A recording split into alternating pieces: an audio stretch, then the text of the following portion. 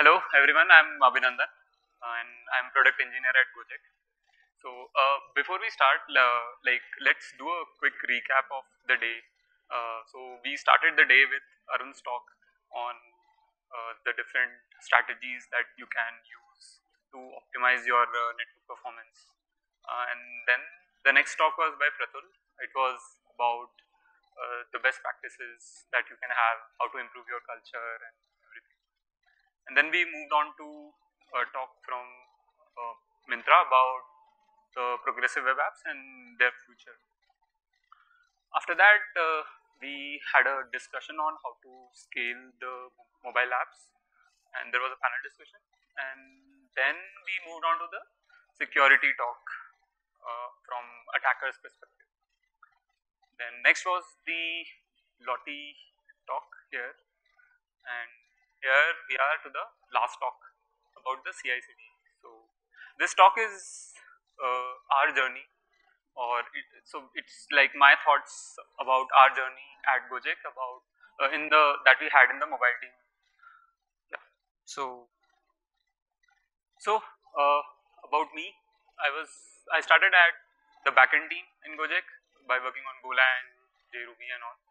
Then after some time, I moved to the DevOps and infrastructure automation team. Was working there on uh, Chef, Ansible, and the different cloud platforms. And then since the last one and a half year, I'm part of the Android and the release engineering team at Gojek. So I've used my learnings from the previous team uh, teams that I've worked with in the Android team currently. Also, uh, my talk is inspired from my previous talks at uh, RootConf and uh, DroidCon Poland that I've given uh, in the last year. Gojek has grown by 900x times in the last 18 months. That is like 90,000 percentage.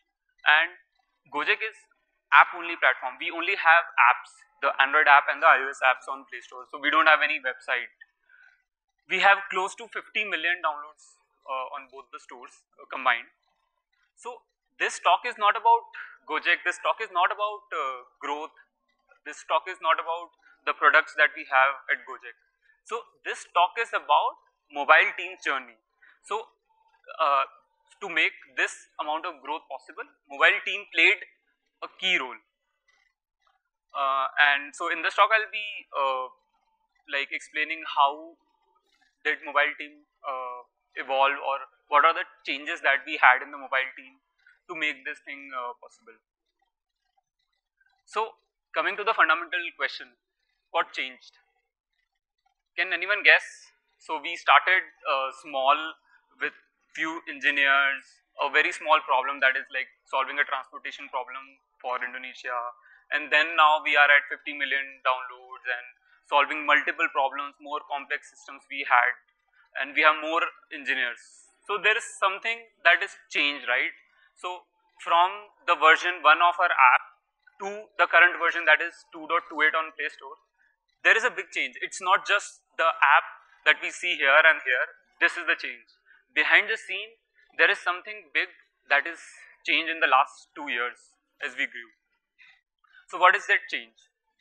So that change is the way we work in our mobile team. So the way we used to work previously when I joined the mobile team and the way we work now, this, this changed basically.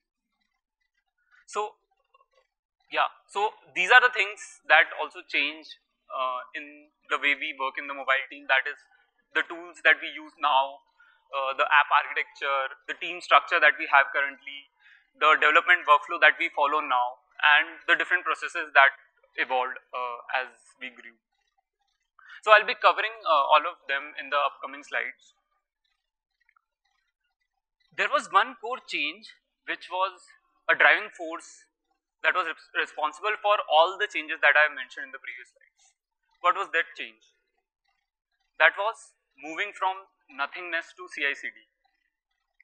So, as like every other startup, we also started small. There was no CI/CD practices or tools available. Uh, we were not using any tools, and then as we grew, there was a need of moving to CI/CD. So then we started following the CI/CD practice.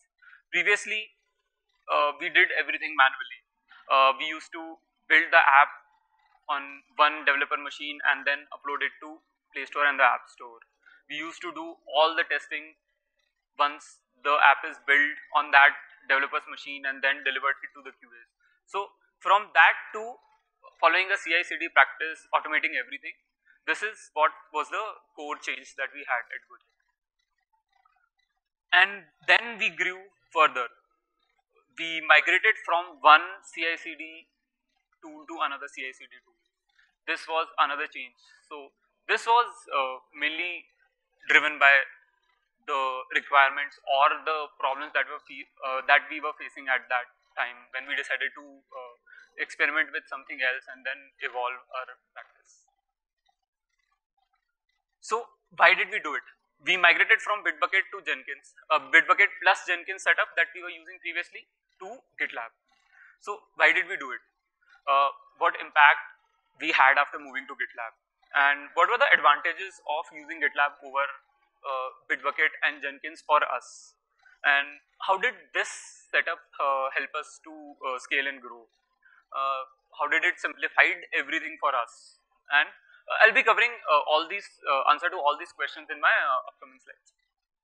Before we move on, for those of you who don't know what CI is or just a basic refresher on what is continuous integration, this is the textbook uh, definition from the Jez Humble's continuous delivery book that uh, continuous integration is a development practice that requires developers to integrate code into a shared repository.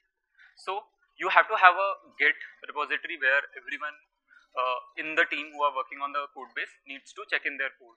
And then once that this code is there, uh, it is automatically verified by the uh, tools, uh, automatic testing tools, whether you run unit test or integration test or UI test. And uh, so how does this help? But since we have testing on every commit, this helps us to detect uh, problems easily. So that uh, since the problems are detected early, they could be uh, solved early, which was not the case when we had uh, we, did, we did not had any CI practice. So CI is a development practice that we should uh, follow. Which tool to choose is a question. So there are a lot of tools in the market. You can choose any of them. Whichever fits best for your organization that works for you well, you choose it. There is no hard coded or defined guidelines. If you you can start with as small as spin up a Docker container on your own box of a image, uh, you can say a Jenkins image or any uh, image, and spin up that Docker container. You can run the CI on that, no issues. Uh, or you can host your own CI setup, or you can use any of the uh, already hosted uh, CI setup uh, available. So it all depends on your scale, your requirements and uh, whichever tool your team is comfortable using it. Uh, so the system has to be very easy to use, configure and it has to have a good uh, support and a community around it. These are the few things that you can keep in mind while choosing the uh, CI tool for your uh, organization. So these are the benefits that helped us to move to uh, CI. Uh, like we had uh, this a big problem of since it was the last day before the release when all the code was merged, there were some bugs which were we were not able to catch them.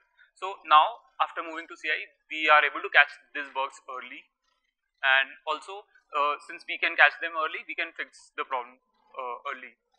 Uh, CI also gives a big uh, advantage of having uh, creating a visibility in the organization. So there is a dashboard, and everyone in the organization uh, can view it. So if you are having multiple teams working on the same code base, uh, you can uh, have a dashboard if there is something wrong, if the build is broken or the build is red, uh, then people know okay we have to fix it. yeah, and then uh, this CI also helps us to create a solid foundation. So you'll spend uh, less time in debugging uh, things and fixing uh, and building more features. So uh, and the next advantage is you don't have to wait for anything. So just push your code and CI will build it, test it, and yeah, that's it. You once you have the build finished, pipeline is completed, then you have the reports and the results. If the build fails, then you need to look it. Otherwise, uh, CI does it for you. This will help you to deliver your uh, features rapidly. To start following uh, CI, CD in your organizations, you need to follow these practices. These are again from the continuous delivery book uh, by Jez Humble. So these are the practices that you need to uh, follow if you're uh, working on CI. So developers check out code into their private workspace. So since it is a single Git repository, and yeah, this is the most important one. It has to be a, a repository, shared repository. It cannot be Dropbox. It cannot be pendrive that you are okay, or it cannot be a developer machine. Uh, so you are passing on the code around with a FTP server or something. It has to be a version repository. So once developers uh, check uh, checks out that, pushes the commit or uh, makes a commit to that uh, uh, repository, that whole source code is taken by the CI tool, and CI tool builds it. Once the build is finished, it does the unit testing. Uh, and then uh, after the build is done, we have the artifacts. It passes on the artifacts to the next uh, phase of the CI practice that is testing. So this testing phase then runs the integration test or the UI test and other different kinds of tests that you have in the pipeline. once, yeah, next one is the build has to be self-testing. The testing has to be integrated on CI. If there is no testing on the CI, you cannot call that practice as CI. It has to be uh, automated in some manner. You can start small uh, in the beginning, but yeah, you have to add more and more tests and more and more uh, kind of tests uh, later. Every commit that you do has to build on a integration machine or the CI uh, server. If there are any broken builds, then you have to fix them uh, immediately. Next one is the build has to be fast. The, ho the whole concept of CI/CD is based on feedback. The faster the feedback is, uh, the faster uh, you get the reports and uh, analysis, uh, it would be better for you. Uh, CI server also assigns assigns a build label to every build or every artifact that it produces, and if the build is successful, it informs the whole team via some kind of mechanism, whether it is a dashboard or it is an email or it is a Slack integration. It informs everyone in the team uh, if the build is successful and if the build fails also then also it informs uh, and if the build fails the team has to fix it. Uh, since uh, I also mentioned uh, in the uh, advantages or benefits that everyone can see what is happening. There is a dashboard, it's the CI dashboard has to be hosted uh, publicly, at least internal to the organization. It does not have to be a private IP with username, password based access that only the admin can see it and he will only monitor the bit. Everyone needs to have the visibility in the organization. And then uh, you can automate uh, the next steps that is like deployment. So you as in team members, if you are working uh, on CI practice, then what are your responsibilities? Check in as frequently as you can. Make small commits so that if there are any bugs or problems, they are detected early. Don't check in broken code. First, make sure the build or the test uh, runs successfully on the local box. Then only you push it to uh, the remote repository so that CI can build. It. Also, don't uh, check in the untested code. Don't check in when the build is broken. If the build is already red, and you have seen that, then don't push the code to make it more problematic to debug, whether your commit caused the build to fail or the previous commit. Also, the last one, don't go home after checking in. Wait for the system to build, to give the feedback, to finish the uh, testing and the different pieces. Continuous delivery is just an extension to continuous integration.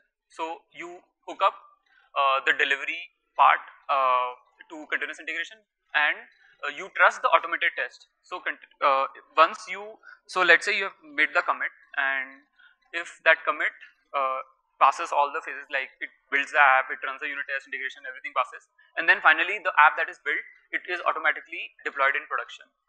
Uh, in terms of iOS and Android, let's say it gets uploaded to the App Store. So if you have that kind of uh, automation, then you, you'll call this as uh, continuous delivery. So uh, why GitLab worked for us. Uh, one of the main advantages that we switched to GitLab was the code, the CI and the CD. Everything was at one place. So we did not have to go to Bitbucket separately to commit and then to review PRs and then come back to Jenkins to see the build dashboard and then uh, then again go back to Git, uh, Bitbucket. So GitLab had this feature of uh, hosting your own source code and then it has its own CI/CD setup uh, GitLab is also open source and it has a very good community.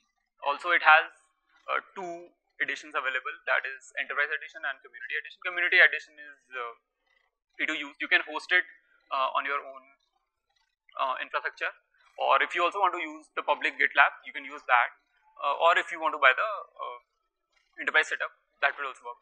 So open source edition or the community, sorry, not the open source, the community edition has all the features that are required for uh, following the CI/CD practice. So we decided to use that. Uh, it is also e easy to use and very uh, easy to set up.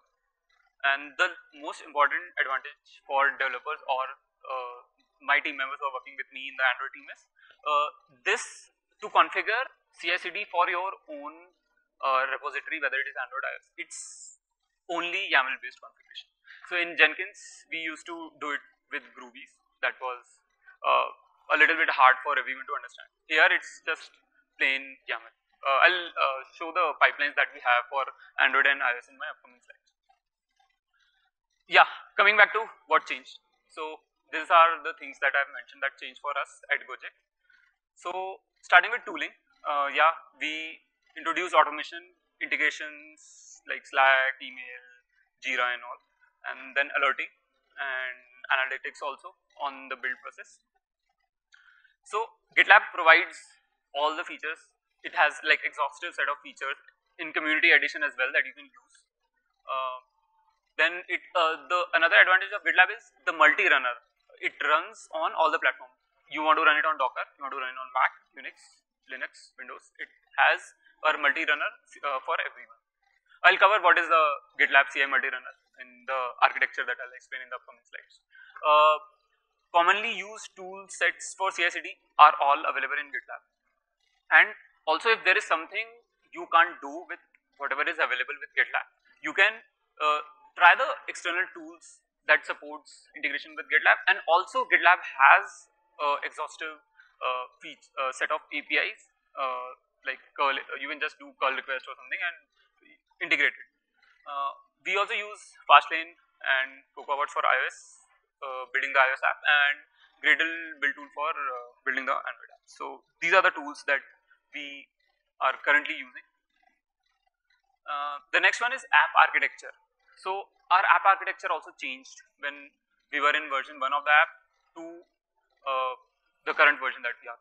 By app architecture, I am not referring uh, here to MVP or MVVM or Redux or Viper. The app architecture here is we switched from a monolithic repo to uh, a multiple repo based architecture.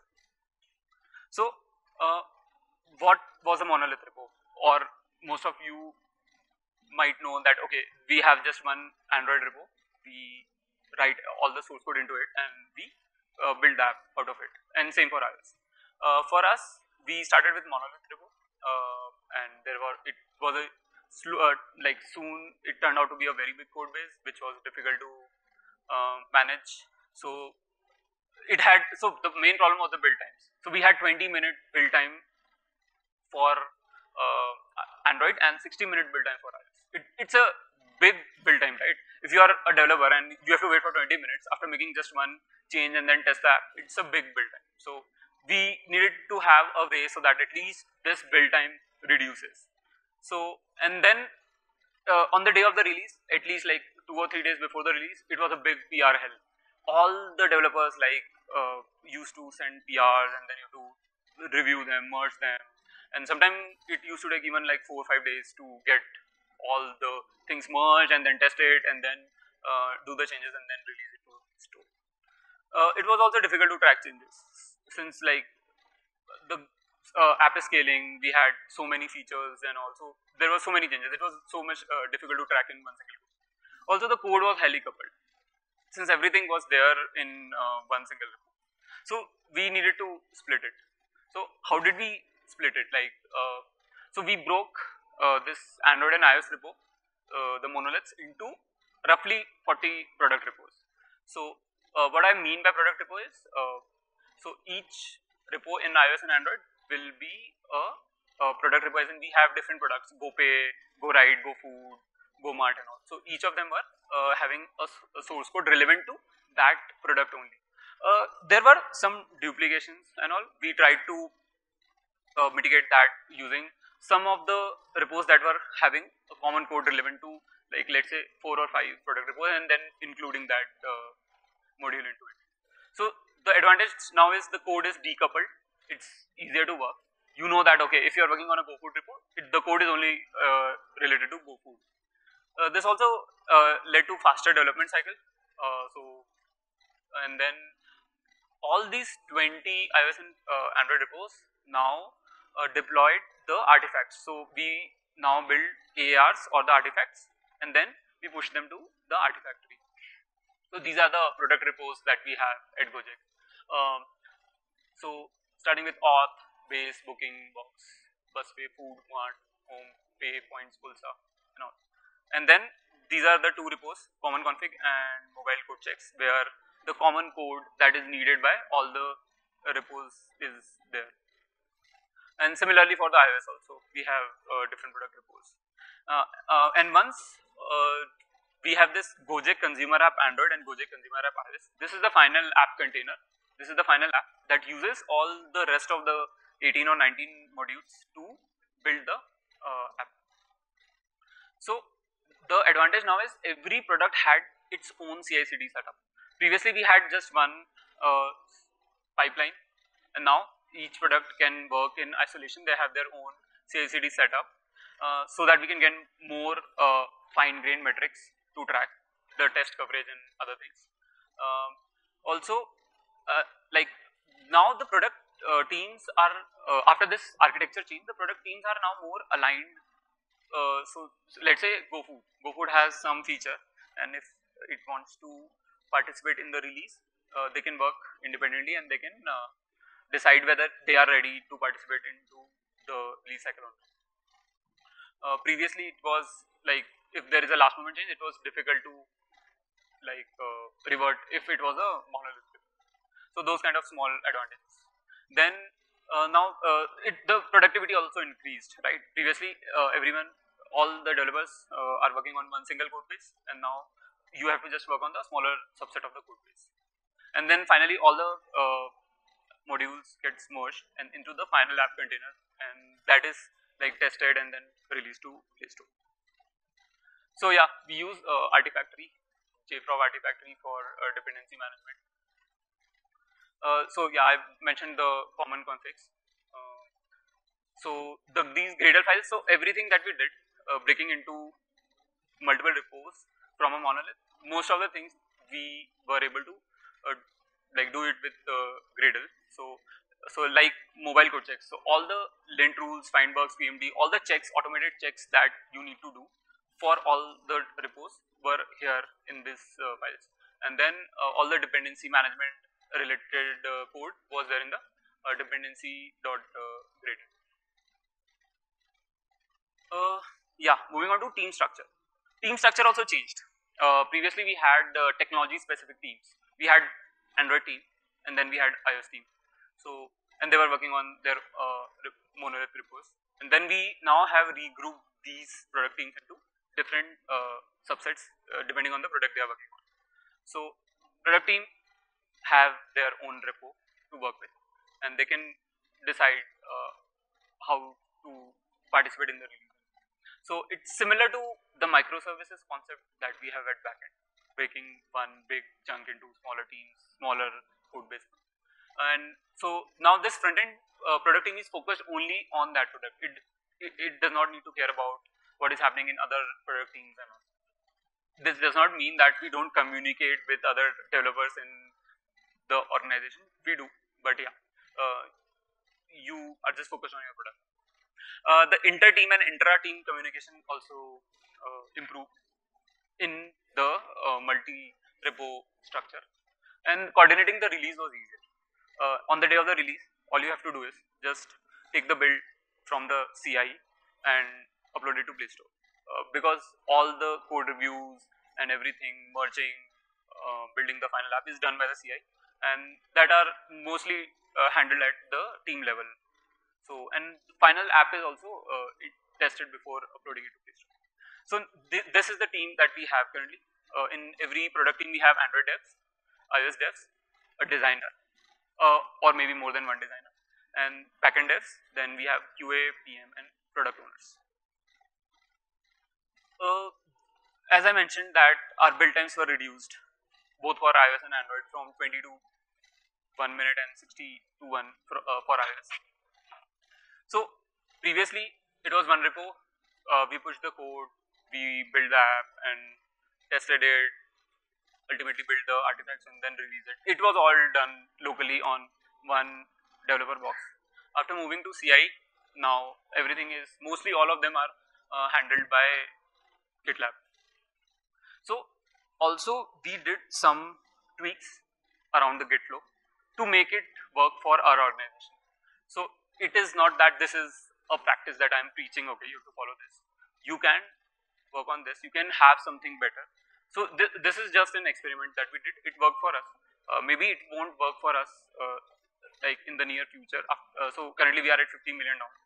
Uh, and now if we move from 50 million to 1 billion, there would be something that we definitely need to have changed in uh, we will face the problems at next scale. So these are the tricks that we did. So uh, we have we follow this uh, 32, 42, 52, 62 convention. So we have uh, three branches on each product repo and on the final consumer app. So if you are working on uh, the current feature, uh, you get your code merged to develop, and then the artifact is published and that is deployed to the artifactory. Uh, so stable is uh, the version that has already gone to alpha. And then the master is the version that is already in the play store. So uh, if you are working currently uh, then on the date of the code freeze or on the day of the release cycle, uh, the last date of the release cycle, you just move all your code from develop to stable. And then we release the alpha app version and also start the full cycle testing on the stable and then after everything is done alpha app works well and the like the feedback from tester is good, then we move that code from stable to master. And then finally the app is released from the master.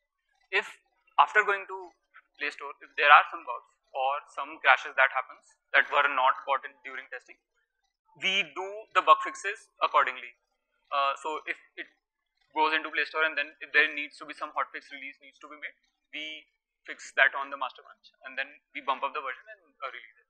Similarly, on the stable branch, if the app is in alpha and there is some feedback from alpha users, we bump up the version on the stable branch itself and rest of the team continues to develop on the uh, develop branch.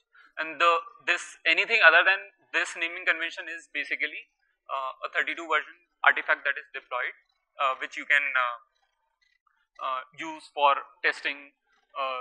You can say locally or uh, if you are working on a feature branch, you can get the 32 uh, artifact and then uh, make the app using that and test it before even merging together. So yeah, this was all of this was Gradle magic. So there was nothing like some magic happening that I did or someone did in Gojek. It was all Gradle magic. So so the 32, 42, 56, 62 I mentioned, all of the corresponding versions are uh, replaced here and then the transitive is set to true uh, and yeah and the final app knows that okay it fetches only the artifacts and it does not need to uh, fetch the dependencies that are mentioned in that particular artifact. So let's say if uh, busway is dependent on base library it won't fetch base library okay. Uh, processes also changed so previously someone so this is a thought process like previously someone was managing CI for me to I manage my own CI. All the product repos, they manage their own CI now. Uh, so we have close to 70 member mobile team and there were a lot of people problems, communication problems and all. So most of these were solved like uh, coordinating with the QA team, giving them the builds and all, after having the CI/CD practice, like most of them were solved.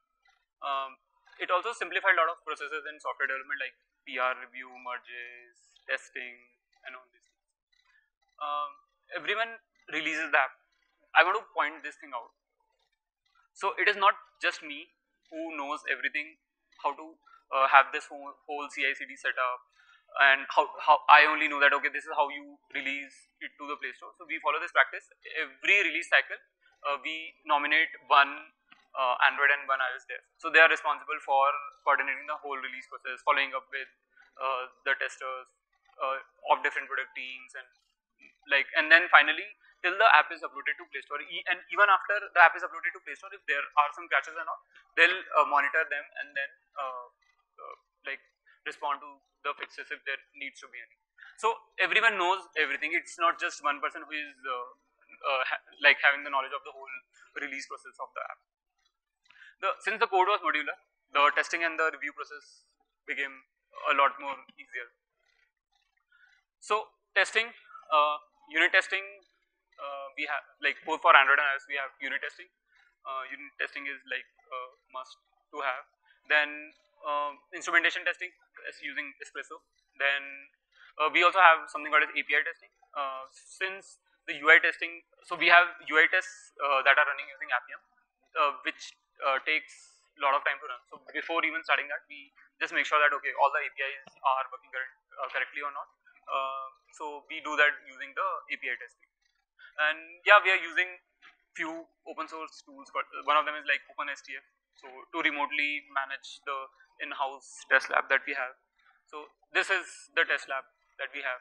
Uh, a set of 20 Mac Minis which has the GitLab CI runner installed on them and physical devices connected to it and which runs the uh, Appium test, the Espresso test on them day in day out on uh, every commit that we do. Also we have a nightly running regression test. So running a regression suite on every commit is a big difficult because now we have so much of uh, tests to run. So we run, we trigger like uh, regression suite at 12 a.m. in the night every day. Uh, release process. We follow two week releases mostly and sometimes uh, maybe in two months, once in two months or three week releases. And the participating product team just have to push their code from develop to stable. And then after the testing is done, app alpha app is released, uh, the full cycle testing is done, then they have to move the code from stable to master branch. Uh, once the code is on the master branch, we release the app to Play Store and that is also done in the phased and the percentage rollout that is provided by App Store and Play Store uh, respectively. Uh, architecture at Gojek. So I mentioned about uh, what is the uh, C, uh, what is the CI/CD setup that we have at Gojek. So this is the happy mobile developer who pushes the code to GitLab. Uh, GitLab is like GitLab master, since GitLab is both, it uh, hosts, uh, hosts the source code as well as it is a master as well. So uh, once the code is here, it delegates the commit to this GitLab runner. So we have two kind, kinds of GitLab runners. One of them are the Docker containers and another set is of the uh, Mac OS X in-house uh, 20, device, uh, 20 Mac Minis farm that I have shown you in the previous slide. So since for Android, you just need Android. You don't, it's independent of the OS. So you can run it on the Docker containers. Whether you run it on cloud or locally, it doesn't matter. So we run it on cloud, uh, on Docker containers, having the Android uh, uh, installed on a base image. And for building the iOS app, for testing the iOS apps, you require Mac OS X to be on your uh, machine. So for that, we have set up this uh, Mac Mini. This Mac Mini also solves us uh, the problem of testing uh, Android. So for doing the UI testing of Android apps, you need to have devices connected unless and until you are not using emulators. So yeah, we have set up that also on this uh, Mac Mini farm And this uh, both kind of runners are connected to GitLab Master. So these are the stages uh, that we have. Uh, so this is a GitLab CI YAML file, very easy to write and manage and learn. This is for Android, like specific to Android. So we have these stages, build stage, test stage, API smoke test, UI smoke test, UI regression test, UI Mixpanel regression test, and then the distribute, whether uh, we distribute it via Fabric to internal users, alpha users, or directly upload it to Play Store. So uh, it uses the Android CI Docker image to and runs the uh, command gradle clean build on the Docker container. And once the build is complete, it archives the artifact and uploads them back to the master. So it uh, uh, artifacts are basically the APK files, the test reports or the manifest, and the ma mapping files that are needed for uh, ProGuard uh, Crashlytics, the obfuscation process. So, uh, and there is this uh, last thing that is called as tags. Uh, so Android build is a tag for the Docker containers or the GitLab CI runner that is uh, tagged with like the the first set of runners that I showed in the previous slide that are uh, that is Android build and then this is how it looks on the pipeline view or on the dashboard of GitLab. similarly for iOS, the only difference here is we use Fastlane to build the iOS app and once uh, so because Fastlane simplifies everything the provisioning profiles and certificates and uh, keys and everything for us and at the end of the stage we have IPA and DSYM files that are archived and uploaded to master. So these runs on the uh, runners that, that are on iOS or the Mac Mini farm. So we have tagged them as uh, iOS. Uh, like everyone here will like complain about like mono repo is better. Some will say, okay, no, multi-repo works for us. So there is there is nothing like uh, kind of best practices or something. If monorepo works for you, go ahead with that. If multi-repo works for you, go ahead with that. I've just uh, like mentioned the pros and cons of the different approaches. So if you have a monorepo, it's easier to navigate. There's no dependency management and all those artifact tree setup and all. And the cons are if your code grows and yeah the build times are high unless and until you are using some magical tool like Buck or something and PR review process is complicated if it is a big repo and pros of multi-repo is yeah mod modular code that at least this was the advantage for us. When we have split the code into the um, multi-repo structure the modular code brought in the ownership. So uh, the each uh, each product team owned its repo. They worked on uh, improving the code quality, writing more tests, making it more cleaner and all, uh, experimenting with different architectures and all. Uh, even like uh, some of the teams are now even using Kotlin in some places. So, uh, so building that specific module is resulting in faster build time instead of building the whole app every time, even on the pieces of code that you have not worked on. Cons are uh, integration testing and FCT becomes full cycle testing becomes important because uh, uh, ultimately the final app is the one that is going to be restore. It's not your just your own module. So the testing becomes important here, and artifacts management is the overhead. What's future for Gojek? So yeah, definitely. Uh, so the current process is working for us. Maybe uh, we are still experimenting with uh, what can we do to make it more faster? So one of the ways is like we can switch to another build tool by Facebook that is called as Buck. Uber uses it, Facebook uses it. They have build times in milliseconds or seconds, you can say. Uh, but yeah, we are uh, heavily relying on um, automatic code generation using Dagger and all, data binding, Android data binding and all. So, but yeah, we have this option in Gradle 4.1. Uh, so Gradle 4.1 is released uh, which also has uh, the concept that is similar to Buck. So this, uh, if there is a change in a module, then you don't build the whole app uh, completely. So we are still experimenting uh, and making it more modular. So the next the next step is to create more and more modules, not just the 20 repos. We'll try to create like 50, 100 or 200 modules and then try to uh, see if the performance improves with Gradle 4.1. And yeah, uh, summaries and key takeaways. So the ultimate goals Uh, this was covered in the whole day today in Pratul's talk, in uh, Arun's talk, and everyone. So ultimate goal is to have happier teams, improve developer productivity, and there should be no people problems, uh, or it should be like at least you should reduce the existing people problems that you have and the communication lags. The third one is the most important one. Don't just blindly copy paste the strategy, whether it is a CI/CD practice or you're doing anything from okay, Google is doing it, Facebook is doing it, Gojek is doing it. Oh, let's do it. It will work for us. No. Try to come up with a strategy inspired from those companies and uh, build up your own. Experiment with it. If it works, then it is good. Then or try to evolve it. Try to tweak it, change it. So ultimately, it has to work for your organization, your use case, your scale. Uh, try to make uh, manual interaction as minimal as possible. That is like go to full automation. Uh, you can just, for uh, example, you can just have, let's say, building the app to Play Store and App Store as a manual button that you can press. This level of automation you can aim for, if not like uploading every time to Play Store automatically. And yes, aim for smooth, better and high quality delivery and faster time to market. Ultimately, we are building it for users. We are building it for customers.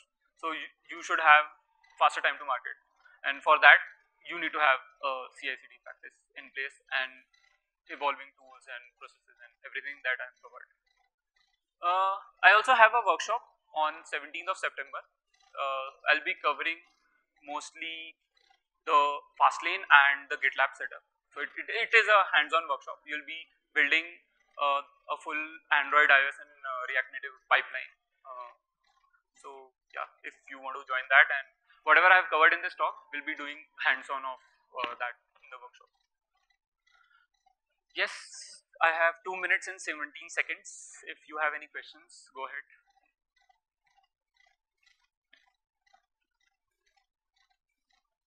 after you release your build on the master, Yes. on the two weekly if some error happens or some bugs are happening, then how do you do you immediately push a new update or So we first we halt out the release. So in Play Store you have seen that option of halt the release. So it, it first it we release it to two percent users, then five percent, then ten percent, something like that. If we have a crash that is increasing in two percent of users, we halt.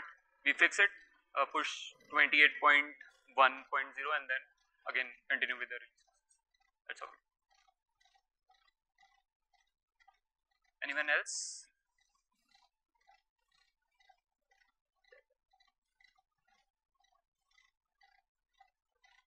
when you said the build time reduced to uh, less than two minutes or less than one minute, Yes.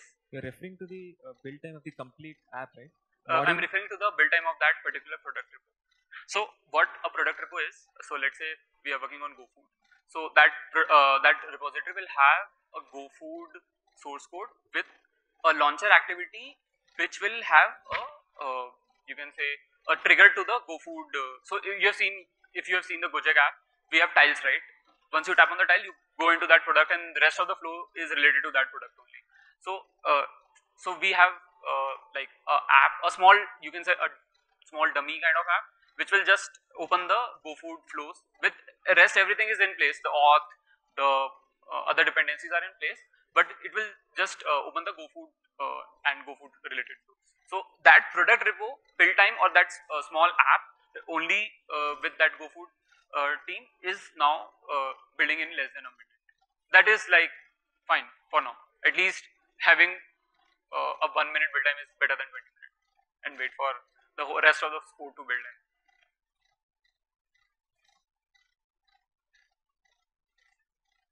Yeah. And Android takes 5.6 after moving to Gradle 4.1. Yeah. Uh, there and there. So, uh, as you said, you uh, divided your repo, one repo to 20 Yes. Yes. dependent on the product. Yes. So, let's say uh, I have a product Mhm. uh, which is used by three, four modules. Yes. So, uh, what are the challenges to, to solve such kind of Yeah. So I mentioned uh, this. So you are right. Uh, so we have this. Let's say Go uh, GoPay. GoPay is Go Ride also uses GoPay. GoFood also uses Go- GoPay. You can use payments to do any other thing. So definitely this GoPay is used for uh, other uh, repo. So uh, if you want to uh, use, let's say you want to work on four repos. So if you are doing some change that requires you to work on four uh, product repos, so definitely we face the challenge how to work on uh, multi repo structure. So we mitigated that using uh, Gradle. So we had this uh, uh, in settings.gradle. We have this. Okay, you want to use more than one module? Just mention that, and you can work on uh, four modules. It, it's a just a simple. Just mention all those in uh, settings.gradle file, and it will work.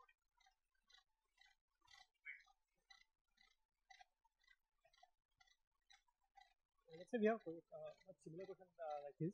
Uh, we have a project with multiple modules. Uh, each module should be a public, uh, should be released as a public uh, public module uh, on say JCenter, Okay. and uh, each module is dependent on some module. Like there are sequential dependencies, Cool, cool. uh, as, as transitive transitive dependencies.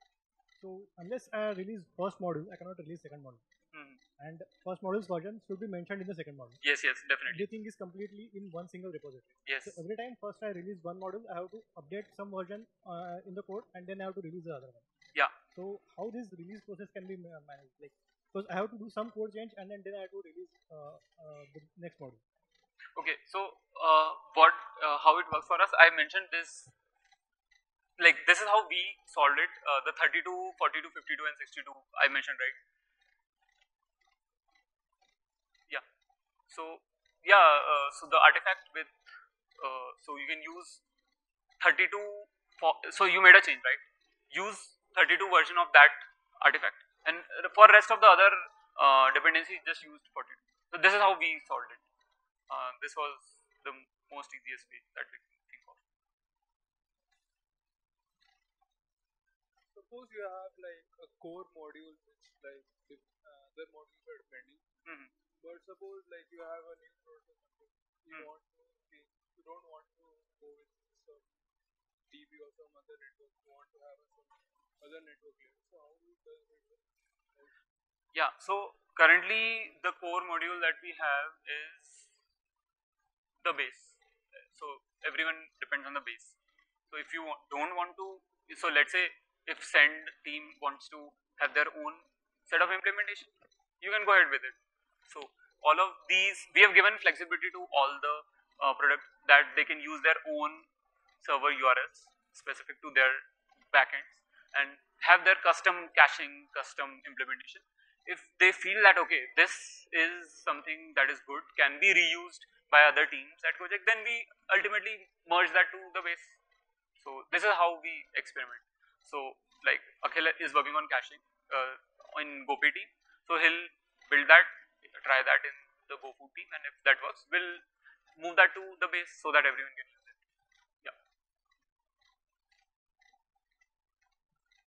Uh, you mentioned that uh, have smaller commits. Yeah, smaller commits. right? Yes.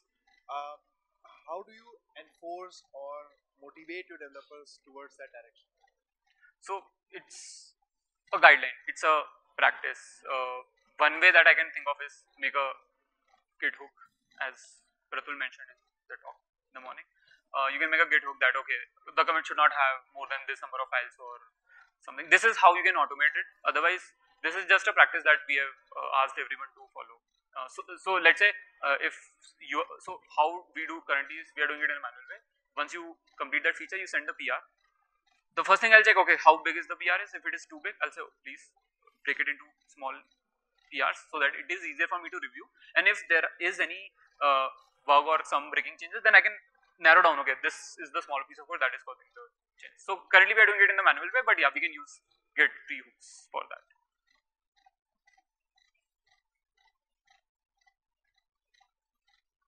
Just like the app repositories that you have, are your backends as well broken the exact same product? Yes, we have more than 200 microservices running at one point of time. Right, so all of your product repos just talk to their own most of the time. Yes. Case like the base is where you get to share, right? yeah base is where you get to share uh, the network the common network part the shared preferences part and if there is something that you want to reuse from other modules Uh-huh. just move it to What base. about uh, you know, something like the microservices are on Docker or something. So you how do you Uh, orchestrate in- all those 200 services rather? in the backend, uh, no. Currently, we are we are migrating to. Uh, so we are in process of migrating everything to Docker, but we haven't yet started that for production. So only one of the first microservice is in uh, on Docker, completely on Docker. So we are still in process of migrating.